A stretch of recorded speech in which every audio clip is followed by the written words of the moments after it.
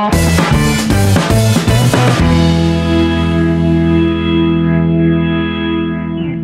everyone, I am here back again with another video of class 6 and today we will be studying the second chapter of civics that is all human beings are equal.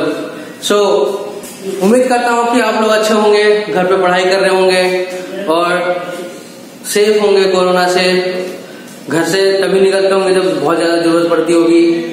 और और उम्मीद करता हूँ कि आप लोग जो है, मन लगाकर घर में पढ़ाई कर रहे होंगे। सारे सब्जेक्ट्स के वीडियोस को देख रहे होंगे आप लोग पूरी तरह से। और अपना नाम और स्टार्ट और एंड जो है, ज़रूर लिखते होंगे। कमेंट सेक्शन में ताकि हम लोग को पता चल पाए कि आप लोग हमसे कनेक्टेड है और हम आपसे कनेक्टेड हैं। ठीक है? और उम्मीद करता हूँ कि आप लोग जो है जो सैटरडेज को टेस्ट होने वाला है, उसके लिए आप प्रिपेयर होंगे, ठीक है? तो इस चैप्टर में जो है, हम लोग पढ़ने वाले हैं ह्यूमंस के बारे में और कैसे जो है उनको इक्वली ट्रीट किया जा सकता है और सोसाइटी में ऐसे क्या क्या चीज़ें हैं, ठीक है? सोसाइटी में या कम्युनिटी में क्या क्या ऐसी चीज़ें हैं जो एक दूसरे से, एक दूसरे के प्रति जो है घृणा पैदा करती है और उन सब चीज़ों को जो है खत्म करना होगा। तो आइए देखते हैं हम इस चैप्टर में। और वीडियो शुरू करने से पहले, आगे चैप्टर में बढ़ने से पहले मैं आप लोगों को बता देना चाहता हूँ कि अगर आपको वीडियो पसंद आया तो प्लीज़ उसको शेयर कीजिएगा लाइक कीजिएगा और हमारे चैनल स्टडी ट्रीट को जो है, ज़रूर से ज़रूर सब्सक्राइब कीजिएगा। और प्लीज़ बेल आइकन दबाना मत भूलिएगा ताकि आप लेटेस्ट नोटिफिकेशन को मिस ना कर पाए लेटेस्ट वीडियोस को मिस ना कर पाए। ठीक है? तो आइए हम आगे बढ़ते हैं। सबसे पहला देखो, हम क्या है कि हम जो जो लोग रहते हैं सोसाइटी में, ठीक है, ज़ाहिर सी बात है कि कुछ लोग ऐसे होते हैं जो अपने आप को ज़्यादा पावरफुल समझते हैं, ठीक है, कुछ लोग ऐसे होते हैं जो अपने आप को बाकी से बहुत अलग समझते हैं और उनके उनके प्रति जो है नफरत पैदा करते हैं, ठीक है, जैसे कि कोई किसी, कोई अलग लैंग्वेज बोलता होगा ठीक है इंडिया में डायवर्सिटी बहुत बहुत ज़्यादा पता है, मुझे उसके पिछले चैप्टर जो फ़र्स्ट चैप्टर है मानसिंग का, उसमें हमने पढ़ा है कि डाइवर्सिटी इंडिया में बहुत ज़्यादा है। यानी कि अलग अलग तरह के लोग हैं यहाँ पे, अलग अलग उनका खाना है, अलग अलग उनका, अलग अलग अलग उनकी भाषाएँ हैं, अलग अलग उनके कपड़े पहनने के तरीके हैं, ठीक है? और स्किन का कलर जो है वो अलग अलग पूरे इंडिया में देखा जाता है। ठीक है? तो उस हिसाब से जो है कुछ लोग ऐसे होते हैं जो अपने आप को दूसरे से अलग समझते हैं और वो लोग सोचते हैं कि वो अलग है उसको सोसाइटी से अलग कर देते हैं और लोग उसको डिस्क्रिमिनेशन जिसको हम लोग कहते हैं। ठीक है? तो ये सब चीज़ें जो है बहुत ज़्यादा आज इंडिया में देखी जाती थी, पहले भी और अभी भी बहुत काफ़ी ये सब चीज़ें देखी जाती है। तो इसी बेस पे जो है, जो जो दो चीज़ें हैं प्रिजुडाइज और डिस्क्रिमिनेशन ये जो ऐसे दो इवेंट्स हमारी सोसाइटी के, जो बहुत ही ज़्यादा दिक्कतें पैदा करती हैं लोगों के लिए, एक दूसरे से एक दूसरे के प्रति नफरत पैदा करवाती है। और इस चीज़ को जो है हमें अपने सोसाइटी से खत्म करना पड़ेगा।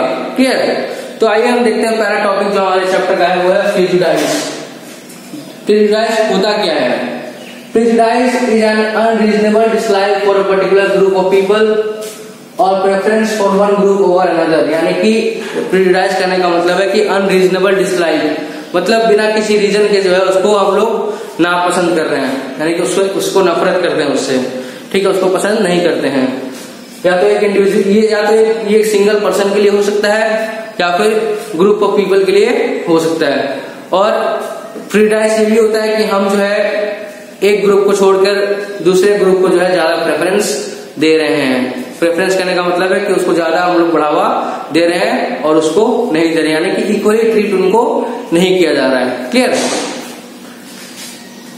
there may be negative attitude towards an individual or a group simply because the person belongs to a specific religion, race, nationality or another group. यानी कि कुछ लोगों का जो है एक नेगेटिव एटीट्यूड जो है दूसरे के प्रति बन जाता है दूसरे लोगों के प्रति बन जाता है। ऑन द बेसिस ऑफ़ क्या क्या? क्योंकि तो वो जो पर्सन है, जिसके प्रति हम लोग जिसके प्रति हमारी नेगेटिव एटीट्यूड पैदा हो रही है, यानी कि नकारात्मक भावना जो पैदा हो रही है, वो किस किस बेस हो सकता है? वो उस रिलीजन पे हो सकता है। ठीक है, जैसे कि वो हिंदू है, वो मुस्लिम है, वो सिख है, वो ईसाई है, इस तरह की रेस पे, यानी कि कलर के भाव पे यानी कि वो काला है, वो गोरा है, वो ऐसा है, वो ऐसा है। क्लियर नेशनैलिटी यानी कि नागरिकता के हिसाब से, यानी कि जैसे वो बांग्लादेशी है, वो पाकिस्तानी है, वो श्रीलंकन है, वो इंडियन है तो अलग अलग जो है नेशनैलिटी को लेकर रिलीजन को लेकर कलर को लेकर जो है बहुत सारी ऐसी नेगेटिव एटीट्यूड जो है लोगों में कुछ कुछ लोगों में जो है पैदा हो जाती है और जिसकी वजह से क्या होता है कि ये चीज़ जो है एक सोसाइटी में बहुत ज़्यादा दिक्कत पैदा करती है। Prejudice invokes strong feeling that are difficult to change. और ये जो प्रिजुडाइस जो है, ये जो वर्ड है, ये एक ऐसी फीलिंग है जो बहुत ही मुश्किल से चेंज हो पाती है लोगों में, या फिर नहीं हो पाती है। क्लियर यानी कि मतलब वो एक पर्सन ऐसा है कि वो डिसलाइक करेगा ही करेगा बिना किसी रीजन के। तो ये जो एटीट्यूड होता है डिसलाइक करने का, बिना किसी रीजन के ठीक है इलॉजिकल जो डिसलाइक है, वो चेंज करना किसी लोगों में बहुत ज़्यादा डिफ़िकल्ट हो जाता है। Prejudice can be guided by the colour of the skin यानी कि जो प्रिजुडाइस है, वो किसके वजह से हो सकता है? वो कलर की वजह से हो सकता है। स्किन के कलर की वजह से। लैंग्वेज के हिसाब से, यानी कि कौन सा, किस तरह का लैंग्वेज लोग बोलते हैं, या फिर कपड़े जो पहनते हैं। तो प्रिजुडाइज जो है, जो फीलिंग है इसकी, ये स्किन के कलर के हिसाब से भी हो सकता है। ये तुम्हारे लैंग्वेज के हिसाब से हो सकता है और जो कपड़े दूसरे लोग पहनते हैं, उसके हिसाब से भी जो है, ये इलॉजिकल डिसलाइक की फीलिंग जो है, वो पैदा हो सकती है किसी लोगों में। Prejudice people often hurt other people's feelings और ये जो लोग होते हैं, जो जो जो प्रिजुडाइज लोग होते हैं, जो बिना किसी रीजन के किसी लोगों को डिसलाइक करते हैं, ठीक है? ये जो है दूसरे लोगों के जो इमोशंस होते हैं, जो फीलिंग्स होती हैं, जो सेंटिमेंट्स होती हैं, वो बहुत ज़्यादा उनको हर्ट करते हैं, ठीक है? तो ऐसे पीपल जो प्रिजुडाइज होते हैं, वो दूसरे की फीलिंग्स को बहुत ज़्यादा हर्ट करते हैं। तो आई होप ये प्रिजुडाइज का जो टॉपिक है, आपको क्लियर हो गया होगा, ठीक है? आपसे रिक्वेस्ट करता हूँ मैं कि अगर आपको कोई भी दिक्कत हो, कोई भी डाउट हो तो प्लीज़ आप कमेंट सेक्शन में मुझसे ज़रूर पूछिएगा, ठीक है? मैं वहाँ पे आपके डाउट्स को क्लियर कर दूँगा। और जब भी आप वीडियो स्टार्ट करें तो अपना स्टार्टिंग लिखें और अपना नाम ज़रूर वहाँ पे लिखिएगा। और जब एंड करिएगा तो कमेंट सेक्शन में एंड ज़रूर लिखिएगा ताकि हम लोग को पता चल पाए कि हाँ आप लोग हमसे कनेक्टेड हैं। और जो सैटरडेज को टेस्ट होने वाला है, उसके लिए प्लीज़ प्रिपेयर रहिएगा। जो भी अब तक मैंने क्लास सिक्स के चैप्टर्स पढ़ाए हैं आप लोगों को, उससे जो है आपका टेस्ट क्लियर जाएगा तो आप डीपली जो है, आपसे ये भी रिक्वेस्ट कर रहा हूँ कि आप बुक्स ले लीजिएगा आकर हमारे विद्यालय से, ताकि आपको और ज़्यादा जो है टॉपिक जो है, जो चैप्टर्स है, वो और अच्छे से क्लियर हो सके। ठीक है? कोशिश कीजिए कि आकर यहाँ से बुक ले लें ताकि आपको जो है कोई दिक्कत, कोई परेशानी ना हो देने में या फिर चैप्टर्स को या टॉपिक्स को समझने में। ठीक है? तो आइए हम नेक्स्ट टॉपिक बढ़ते हैं, डिस्क्रिमिनेशन। और सुनाओ आगे बढ़ते हैं अपने नेक्स्ट टॉपिक पे, जो कि है हमारा डिस्क्रिमिनेशन। डिस्क्रिमिनेशन का हिंदी कहने का मतलब है कि भेदभाव। ठीक है? Discrimination means unfair treatment of person और group on the basis of prejudice यानी कि डिस्क्रिमिनेशन का मतलब होता है कि एक अनफेयर ट्रीटमेंट करना एक लोग, एक पर्सन के साथ या एक ग्रुप ऑफ़ पर्सन के साथ on the basis of prejudice यानी कि किस बेस पे? यानी कि अनरीजनेबल डिसलाइक के बेसिस पे। ठीक है? तो डिस्क्रिमिनेशन का मतलब होता है कि हम किसी के साथ अनफेयर ट्रीटमेंट कर रहे हैं, बुरा बर्ताव कर रहे हैं। ठीक है? और किस बेसिस पे? मतलब बिना किसी रीजन के मतलब क्योंकि बिना क्योंकि बिना किसी रीजन के हम लोग हम लोग उसको पसंद नहीं करते हैं, इसलिए जो है हम हम उसके, हम उनके साथ क्या कर रहे हैं? हम उनके साथ बुरा बर्ताव कर रहे हैं। Clear it means treating other people badly और not allowing to participate in certain activities restricting their access to work living in certain neighbourhood and denying them the things they are entitled by right and law इसका मतलब क्या होता है कि हम दूसरे लोगों के साथ बुरा बर्ताव कर रहे हैं? किस बेसिस पे?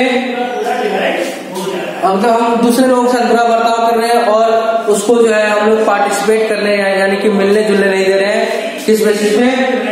किसी सर्टेन एक्टिविटी जैसे फेस्टिवल्स हो गया, कोई एक पर्टिकुलर फ़ंक्शन हो गया, ठीक है? Restricting their access to work यानी कि हम उस बंदे को, उस पर्सन को जो है जब उसको डिसलाइक करते हैं जब उसका बुरा बर्ताव करते हैं तो उसको जो है उसका जो काम करता है वो जो ऑक्यूपेशन करता है वो ठीक है उसको हम लोग करने नहीं दे रहे हैं।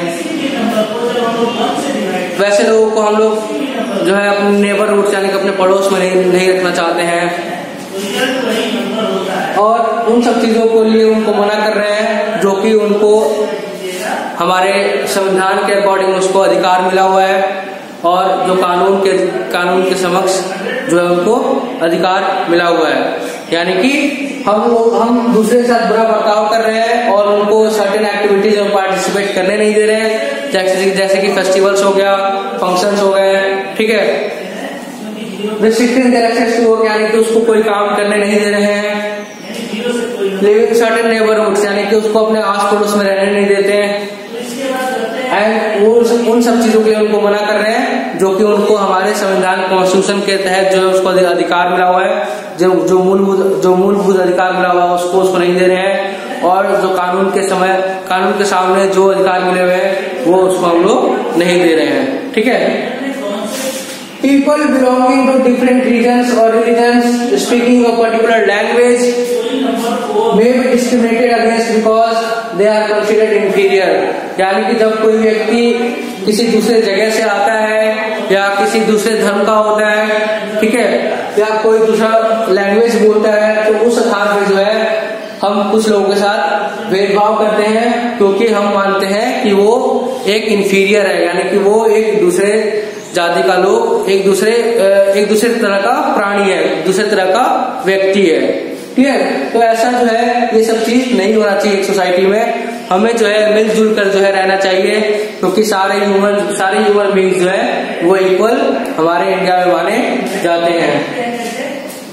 Poor people are also discriminated against and treated badly because of their economic condition यानी कि जो गरीब लोग होते हैं उनको उनके साथ हम लोग बुरा बर्ताव करते हैं या उनको बैडली ट्रीट करते हैं, क्यों? क्योंकि उनका इकोनॉमिक कंडीशन यानी कि फाइनेंशियल कंडीशन जो है उनका अच्छा नहीं है। तो हमारे देश में जो है ये सब चीज़ें जो है बहुत चलती आ रही है और अभी भी होती हैं, जो कि ये सब भेदभाव जो है हमारे कॉन्स्टिट्यूशन में, हमारे अधिकार में नहीं लिखा हुआ है। ठीक है? तो ये सब चीज़ें जो है आज के टाइम पे नहीं होना चाहिए। क्लियर आई होप आपको ये समझ में आ गया होगा। ठीक है? आइए आप नेक्स्ट बढ़ते हैं अपने next topic that is stereo और जो भी कोई दिक्कत हो आपको तो प्लीज़ कमेंट सेक्शन में ज़रूर पूछिएगा। मैं आपको डाउट्स वहाँ क्लियर करूँगा। ठीक है? आइए हम आगे बढ़ते हैं अपने नेक्स्ट टॉपिक स्टीरियो टाइप पे। और सो आइए हम बढ़ते हैं अपने नेक्स्ट टॉपिक जो कि है स्टीरियो ठीक है?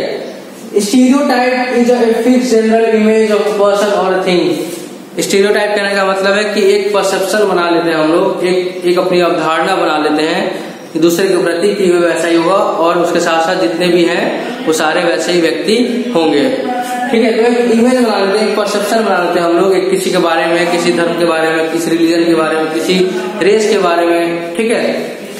For example when it is said that people of a particular race are criminals it is wrong it is not right because criminals can exist in all races ठीक है जैसे कि अगर एग्ज़ाम्पल लिया जाए तो कहने का मतलब है कि मान लो कोई व्यक्ति किसी रेस का है किसी कलर किसी कलर का है ठीक है काला है गोरा है लाल है तो हम लोग कहते हैं कि मान लो ये काला फॉर एग्ज़ाम्पल काला व्यक्ति है तो ये क्रिमिनल होगा। तो एक इमेज बना लिया हमने कि सारे काले व्यक्ति जो है क्रिमिनल्स हो सकते हैं बट ऐसा नहीं, ये सोचना गलत है। क्यों?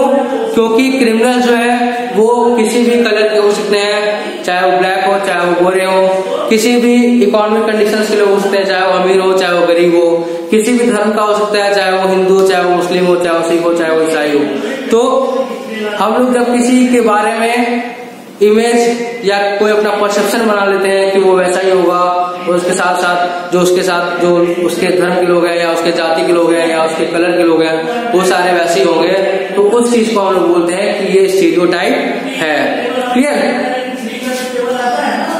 type prevent from looking at each other as having unique qualities और टाइप की वजह से क्या होता है कि हम किसी के व्यक्ति को गुण को नहीं पहचान पाते हैं। ठीक है? हम जैसे फॉर एग्ज़ाम्पल मान लो यहाँ पे जैसे एग्ज़ाम्पल है फॉर एग्ज़ाम्पल बॉयज़ और गर्ल्स ठीक है? तो बॉयज़ और गर्ल्स में जैसे एक फैमिली है, ठीक है? फैमिली में तीन बच्चे हैं तो एक दो लड़कियाँ, एक लड़का है तो हो सकता है लड़का स्ट्रांग ना भी हो ठीक है फिजिकली स्ट्रांग ना हो, पढ़ने में तेज ना हो बट उसकी जो बहन है दोनों वो बहुत तेज है पढ़ने में, वो फिजिकली स्ट्रांग भी है, वो घर का भी काम करती है, वो अपना होमवर्क भी करती है बट जो ये लड़का है, वो ना ही पढ़ाई में अच्छा है, ना ही खेल कूद में अच्छा है, ना ही अपने घर के काम करता है। तो जो बाहर के लोग देखेंगे तो जैसे लड़कियों को देखेंगे, जिसके बहन को देखेंगे तो सोचेंगे कि ये ये तो ये तो बहुत पढ़ने वाली लड़कियाँ तो उसका भाई भी पढ़ने वाला होगा, बहुत अच्छा होगा, ये होगा। बट एक्चुअली में वैसा है नहीं। क्लियर उसी तरह हम लोग कहते हैं कि जो गर्ल्स होती है बॉय फिजिकली स्ट्रांग नहीं होती है, ठीक है? फिजिकली स्ट्रांग नहीं होती है, बल्कि बॉय जो है फिजिकली स्ट्रांग होते हैं। तो ऐसा बिल्कुल भी नहीं है। गर्ल्स भी होती हैं जो फिजिकली स्ट्रांग होती हैं, वो सारा काम अपना करती हैं, घर का भी काम करती हैं। कुछ स्पोर्ट्स में भी ऐसे गर्ल्स हैं जो बहुत ज़्यादा स्पोर्ट्स में इन्वॉल्व होती हैं बट पढ़ाई में नहीं होती हैं, घर का काम नहीं करती हैं। कुछ लड़के ऐसे भी होते हैं जो घर का काम बहुत करते हैं बट स्पोर्ट्स में स्ट्रांग नहीं होते हैं या फिर पढ़ाई में तेज नहीं होते हैं। तो ऐसी अवधारणा जो है, वो नहीं पैदा होनी चाहिए। इसके स्टीरियो टाइप क्या होता है कि स्टीरियोटाइप से जो है, हम लोग एक दूसरे की क्वालिटीज को नहीं पहचान पाते हैं, क्योंकि हर एक पर्सन में जो है अलग अलग क्वालिटीज है अलग अलग उसकी अपनी क्षमता है करने की कोई भी काम। Clear instead they place a large number of people under one category और एक तो है कि जो स्टीरियोटाइप है वो एक किसी एक पर्सन की क्वालिटी को देखने से हमें मना करता है। और उसके बदले ये करता है कि जो सारे ग्रुप ऑफ़ पर्सन है, उसको एक कैटेगरी में डाल देता है। जैसे एग्ज़ाम्पल लिया हमने क्रिमिनल्स का, कि मान लो एक बंदा जो काला है या गोरा है, वो क्रिमिनल है। तो ऐसी अवधारणा हम लोग बना लेंगे कि सारे काले जो है, वो सारे क्रिमिनल्स हैं। ऐसा नहीं होना चाहिए, ठीक है? यानी कि हम लोग क्या कर रहे हैं कि एक एक की वजह से, एक की वजह से क्या हो रहा है? एक की वजह से जो है, हम लोग सारे ब्लैक को या सारे गोरे को जो है, हम लोग क्रिमिनल्स घोषित कर रहे हैं। तो ऐसा नहीं होना चाहिए। जैसे अंग्रेज़ हमारे टाइम पे थे इंडिया में तो अंग्रेज़ कुछ ऐसे थे जो बहुत ज़्यादा बुरा बर्ताव करते थे इंडियंस के साथ। ठीक है? बहुत बुरा बर्ताव करते थे इंडियंस के साथ। बट कुछ ऐसे अंग्रेज़ भी थे जो बहुत ज़्यादा सही थे जिन्होंने इंडिया में डेवलपमेंट कर, डेवलपमेंट करने के बारे में सोचा था। ठीक है? वही कुछ अंग्रेज़ ऐसे थे जो चाहते नहीं थे कि इंडिया में डेवलपमेंट हो या इंडिया को हम लोग लूट के ले जाए। जैसे कि इंडिया में इंग्लिश की पढ़ाई चालू हुई ठीक है इंडिया में आई की पढ़ाई चालू हुई। इंडिया में जो है अलग अलग डेवलपमेंट देखे गए एडमिनिस्ट्रेटिव लेवल पे पॉलिटिकल लेवल पे। उसी तरह कुछ ऐसे अंग्रेज़ थे जिन्होंने सोचा है नहीं डेवलपमेंट किया जाए इंडिया में। बस इंडिया के जो चीज़ें वहाँ से लूट कर जो इंडिया का जो पैसा लूट कर है वो दूसरे देश में ले, ले अपने देश में ले जाया जाए। तो ऐसे कुछ हमारे इंडिया से जो है, उनमें ऐसी अवधारणा पैदा हो गई थी ऐसी इमेज बन गई थी अंग्रेज़, अंग्रेज़ों अंग्रेज़ों के खिलाफ कि अंग्रेज़ जो थे, इन्होंने इंडिया को बर्बाद किया था। तो ऐसा नहीं होना चाहिए, कुछ अंग्रेज़ ऐसे भी थे जो अच्छे थे। उसी तरह, जैसे मैंने अभी एग्ज़ाम्पल लिया था कि बॉयज़ और गर्ल्स के बीच में कि कि कुछ गर्ल्स ऐसी होती है जो बहुत ज़्यादा स्ट्रांग होती है।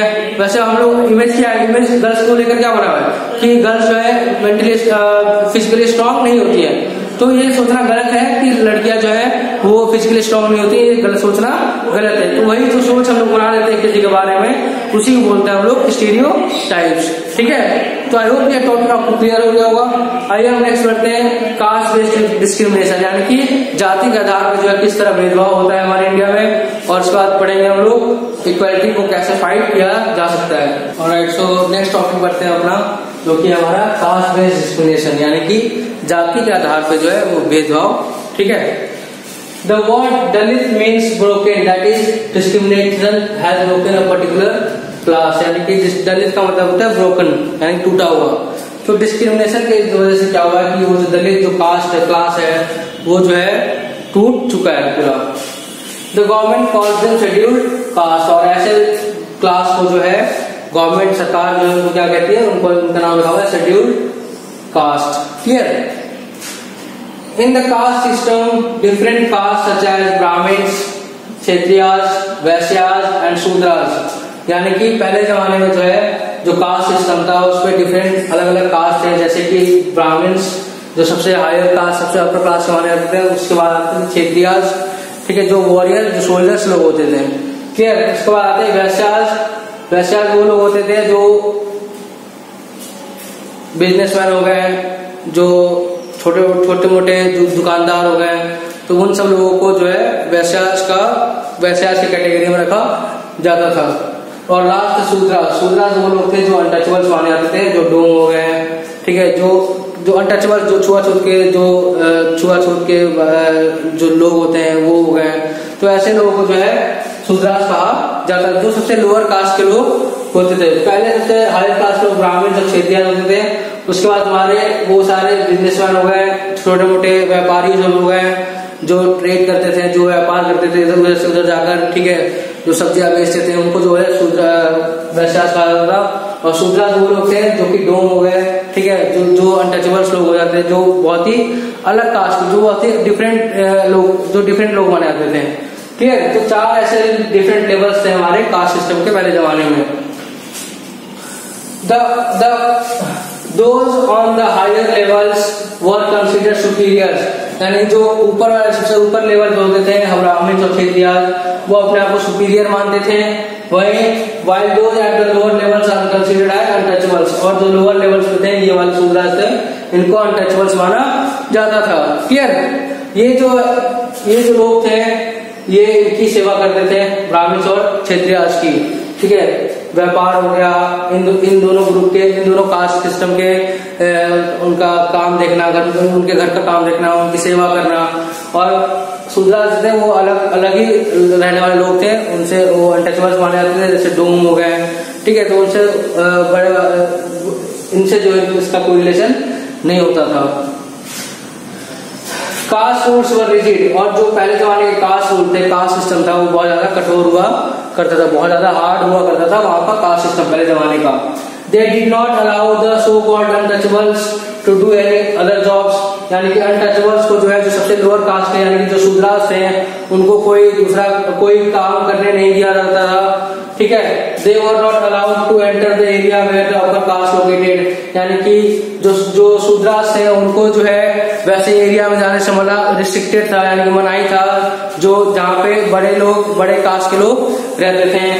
Untouchable families could not draw water from wells यानी कि गाँव का जो कुआँ होता था, वहाँ से जो है शूद्रास को पानी निकालने नहीं दिया जाता था, उनको टेम्पल्स में जाने नहीं दिया जाता था, और ना ही उनको स्कूल्स में जाने दिया जाता था।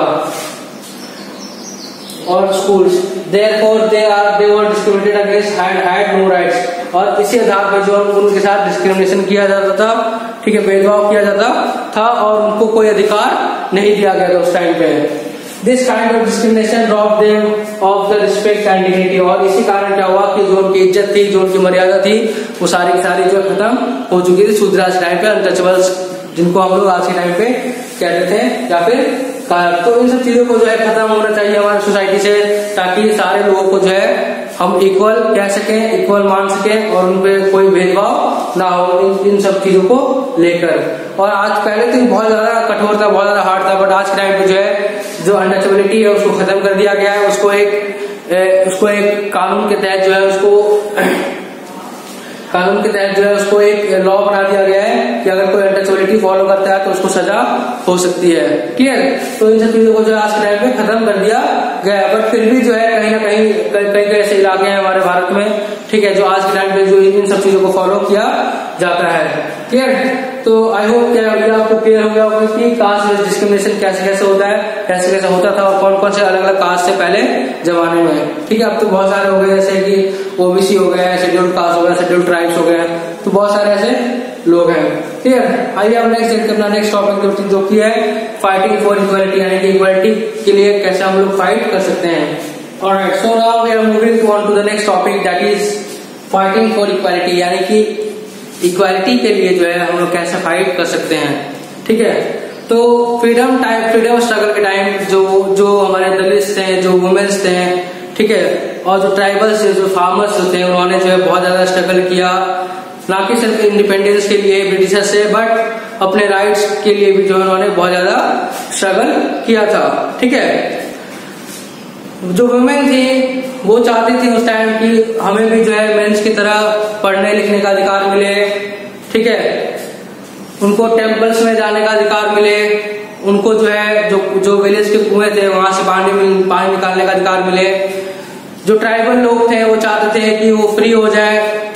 वैसे लोगों, वैसे मनी लेंडर से, यानी कि सेठ लोगों से, जो कि उनको बहुत ज़्यादा हाई रेट ऑफ़ इंटरेस्ट यानी कि बहुत ज़्यादा इंटरेस्ट चार्ज करते थे लोन्स पे, जो लोग देते थे। शेड्यूल्ड कास्ट के लोग जब चाहते थे कि उनको जो है टेम्पल्स में जाने का अलाउड हो, उनको जो है पानी निकालने का अधिकार हो, उनको जो है अपने फेस्टिवल्स मनाने का अधिकार हो तो इन सब चीज़ों के लिए भी जो है उन्होंने फाइट किया था। क्लियर जब इंडिपेंडेंस के लिए वो लोग लड़ रहे थे। तो साथ साथ इंडिपेंडेंस के साथ साथ जो उन्होंने अपने राइट्स के लिए बहुत ज़्यादा स्ट्रगल किया था। उसी को, चीज़ को देखते हुए जो हमारे कॉन्स्टिट्यूशन में क्या किया गया? The constitution of India which contains all the laws rules and regulation यानी कॉन्स्टिट्यूशन एक ऐसा हमारा एक लिखा हुआ अधिकार है, जो हमें दिया जाता है और उसको जो है हमारे इंडिया के लोगों ने ही बनाया है, जिसमें सारे कानून रूल्स एंड रेगुलेशन जो है लिखे हुए किस तरह से जो है हम एक ज़िंदगी जी सकते हैं क्या क्या राइट्स हमें मिले हुए हैं और क्या क्या हमें राइट्स को अपनाना चाहिए क्या क्या हमारी ड्यूटीज़ है, ठीक है? तो जो हमारे कॉन्स्टिट्यूशन में जो लिखा हुआ है, वो कहता है कि it gives equal rights to both man and women and does not allow any discrimination on the ground of religion race caste sex और प्लेस ऑफ़ द बर्थ यानी कि हमारा कॉन्स्टिट्यूशन क्या कहता है कि मैन और वुमेन को बहुत इक्वल माना गया है और किसी भी तरह का भेदभाव उन पे नहीं किया, उनके साथ नहीं किया जाएगा। धर्म को लेकर, कलर को लेकर, जाति को लेकर सेक्स को लेकर और जहाँ पर उनका जन्म हुआ है, वहाँ उस जगह को लेकर। तो इन सब चीज़ों के ऊपर जो है उनका डिस्क्रिमिनेशन भेदभाव नहीं होगा और मैन एंड वुमेन को जो है इक्वल माना गया है। Gives power to state to favour disadvantage groups. यानी कि राज्यों को जो हमारा कॉन्स्टिट्यूशन जो है राज्य को पावर देता है कि जो भी डिसएडवांटेज ग्रुप के लोग हैं यानी कि जो शेड्यूल्ड कास्ट शेड्यूल्ड ट्राइब्स के लोग हैं उनको जो है उनको उनकी तरफ़ ध्यान दे और उनका बढ़ावा करे। यानी कि उन, उनके अधिकारों को जो है बढ़ावा करे। है स्पेशल राइट्स जो है स्पेशल राइट्स मिले हुए हैं कुछ सेक्शन ऑफ़ द सोसाइटी को जैसे कि वुमेन एंड चिल्ड्रेन को यानी कि और औरत और बच्चों को जो है स्पेशल स्टेप्स लिया गया गवर्नमेंट के द्वारा, जो कि हमारे कॉन्स्टिट्यूशन में लिखा गया कि इन पे ज़्यादा ध्यान देना चाहिए। तो वो हो गए तुम्हारे वुमेन और चिल्ड्रेन शेड्यूल्ड कास्ट के लोग शेड्यूल्ड ट्राइब के लोग अदर बैकवर्ड क्लासेस के लोग और फिजिकली चैलेंज पीपल यानी कि इन सबके खिलाफ जो है स्पेशल स्टेप्स बनाया गया ताकि इन पे ज़्यादा ध्यान दिया ध्यान दिया जा सके और इनको जो है बाकी लोगों के बराबर में लाया जा सके। क्लियर हमारा कॉन्स्टिट्यूशन जो है, कहता है कि it says it shall be the duty यानी कि ये एक स्टेट की जो है, एक राज्य सरकार की ड्यूटी होगी कि जो है, जो ये weaker section of the society है, उनके इनको, इनके राइट्स को प्रोटेक्ट करे, ठीक है? और इनके जो बैकवर्ड क्लास के लोग हैं, उनको जो है सोशल इनजस्टिस यानी सोसाइटी में जो इनजस्टिस होता है, उसके खिलाफ उनको प्रोटेक्ट करे, ठीक है? और हमारे हमारे कॉन्स्टिट्यूशन में ये भी लिखा गया है कि जो शेड्यूल्ड कास्ट शेड्यूल्ड ट्राइब या ओबीसी ओबीसी के जो लोग हैं, ठीक है? इन तीनों क्लासेस के जो लोग हैं और वुमेन जो है, उनको जो है एजुकेशन में और लेजिस्लेचर यानी कि जो विधानसभाएँ होती हैं, ठीक है? लोकसभा हो गया, विधानसभा हो गया, राज्यसभा हो गया, उनमें जो उनके लिए सीट रिज़र्व किया जाए एम्प्लॉयमेंट एजुकेशन में भी एम्प्लॉयमेंट में भी नौकरी में भी और लेजिस्लेचर में भी।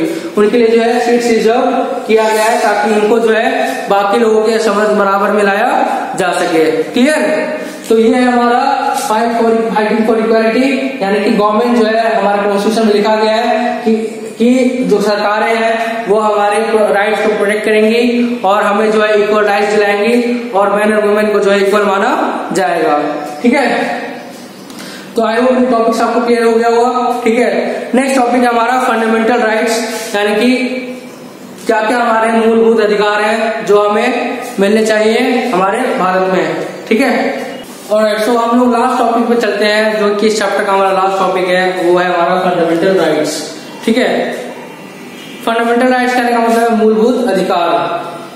तो हमारे पार्ट थ्री और जो कॉन्स्टिट्यूशन हमारे कॉन्स्टिट्यूशन का पार्ट थ्री हमारे कॉन्स्टिट्यूशन जो है टोटल बारह पार्ट बाईस पार्ट है। ठीक है? जिसका जो थर्ड पार्ट है, वो हमारे फंडामेंटल राइट से रिलेटेड है। ठीक है?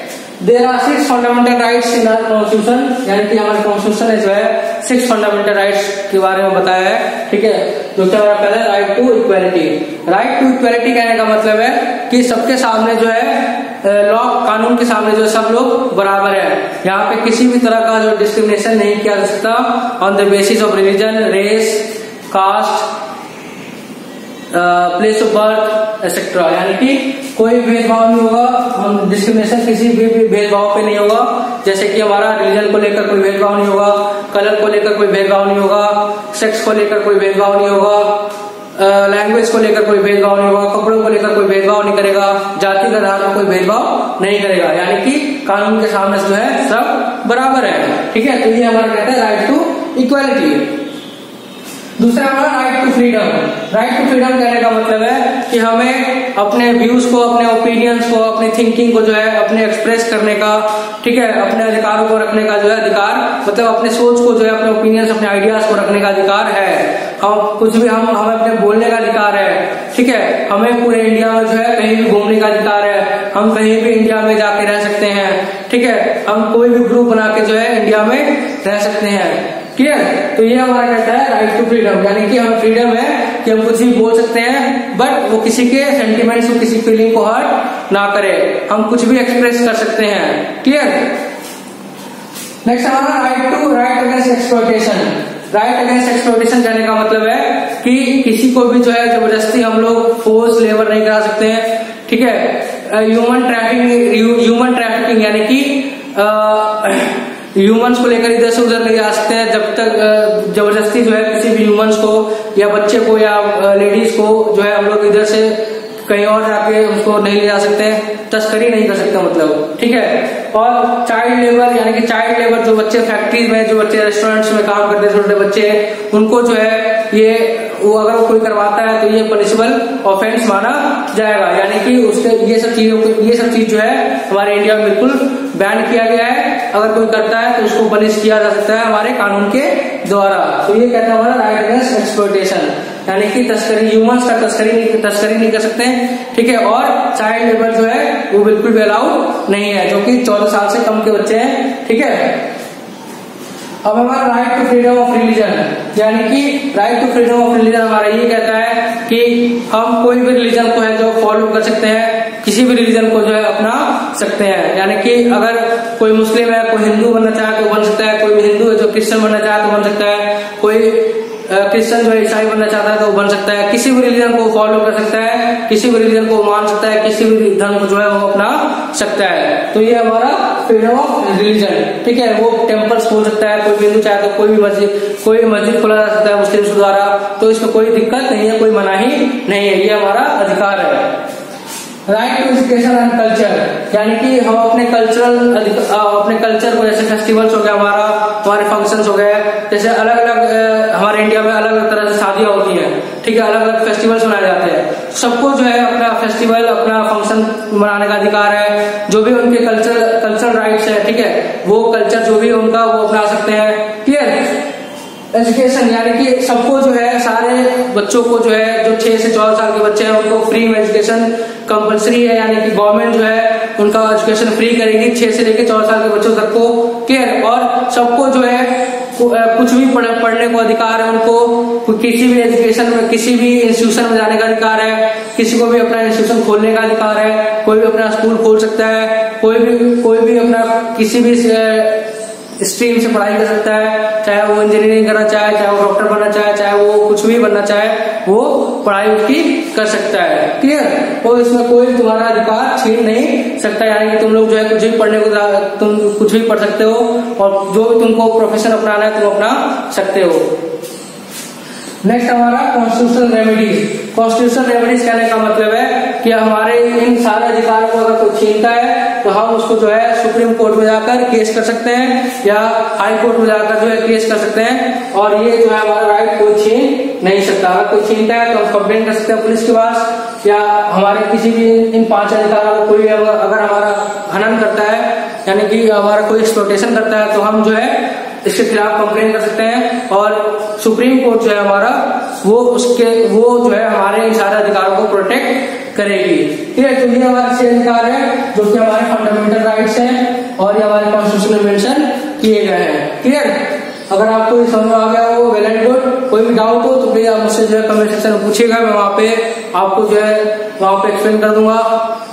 फिर से एक बार देख लेते हैं हमारा कौन सा है right to equality right to equality करने का मतलब है कि कानून के सामने सब बराबर है। किसी भी तरह का डिस्क्रिमिनेशन किसी भी तरह का भेदभाव नहीं किया जाएगा। धर्म के आधार पर या जाति के आधार पर या जगह के जगह के आधार पर या कपड़े के आधार पर या खाने के अधिकार पर या भाषाओं के अधिकार पर, ठीक है, आधार पर। तो इन सब पे कोई डिस्क्रिम भेदभाव नहीं हो सकता। सारे लोग जो है मैन हो गया वुमेन हो गया, चाहे बूढ़ा हो गया, चाहे गरीब हो गया, चाहे प्रेसिडेंट हो, चाहे वो गरीब का बच्चा हो, सब के सब जो है, बराबर है, एक समान है। राइट टू फ्रीडम यानी राइट टू फ्रीडम करने का मतलब है कि हमें हमें हमें कोई भी अपने आइडियाज़ को, अपने ओपिनियंस को रखने का अधिकार है, अब कोई कुछ भी बोलने का अधिकार है, ठीक है? बट वो किसी के सेंटिमेंट्स या फीलिंग्स को हर्ट ना करे। राइट अगेंस्ट एक्सप्लोटेशन कहने का मतलब है कि ह्यूमन ट्रैफिकिंग ह्यूमन ट्रैफिकिंग मतलब मानव तस्करी ना हो और चाइल्ड लेबर ना किया जाए और ना ही किसी को ज़बरदस्ती किसी कहीं पे काम कराया जा सकता है। तो ये ये चीज़ें जो है बिल्कुल इंडिया में मना कर दिया गया है बैन हो चुका है। Right to freedom of religion यानी कि किसी को भी कोई भी धर्म अपनाने का अधिकार है, ठीक है, कोई भी धर्म अपना सकता है, कोई भी धर्म बदल चेंज कर सकता है, बेशर्ते वो किसी के फीलिंग्स को हर्ट ना करे और अपना मंदिर में जा सकता है, मस्जिद खोल सकता है क्लियर नेक्स्ट और है right to education and culture यानी कि हमें पढ़ने का अधिकार है। तो छह से चौदह साल के बच्चे हैं, उनको फ्री का फ्री में एजुकेशन देने का अधिकार है सरकार का। ठीक है? और कुछ भी हम लोग पढ़ सकते हैं जो हमारा इच्छा चाहे, कुछ भी हम बन सकते हैं जो हमारी इच्छा चाहे। कल्चर कहने का मतलब फेस्टिवल्स हो गया फ़ंक्शन हो गया, वो हम अपनी तरह से मना सकते हैं। इसमें कोई हमें उसमें कोई इंटरफेरेंस यानी कोई भी उसमें अड़ंगा नहीं लगा सकता। नेक्स्ट हमारा कॉन्स्टिट्यूशन रेमेडी यानी कि अगर कोई भी हमारे इन सारे अधिकारों को छीनता है तो हम लोग सुप्रीम कोर्ट या हाई कोर्ट में जाकर जो है कंप्लेन कर सकते हैं केस कर सकते हैं, और सुप्रीम कोर्ट या हाई कोर्ट जो है हमारे इन सारे राइट्स को प्रोटेक्ट करता है। क्लियर तो आई होप ये आपको टॉपिक क्लियर हो गया फंडामेंटल राइट्स का। ठीक है? तो कोई भी डाउट हो तो प्लीज़ आप मुझसे जो है कमेंट सेक्शन में ज़रूर पूछेगा आपको इस चैप्टर का पीडीएफ मिलेगा, आप पीडीएफ से पढ़िएगा और कोशिश कीजिएगा कि बुक जो है तुम यहाँ से ले लो ताकि आप, आपको और जो है आसानी हो आपको बुक से पढ़ने में। और आपको जैसे कि मैंने पहले भी बताया था वीडियो स्टार्ट करने से पहले कि सैटरडेज को आपका टेस्ट होगा तो प्लीज़ प्रिपेयर रहेगा टेस्ट के लिए, ठीक है?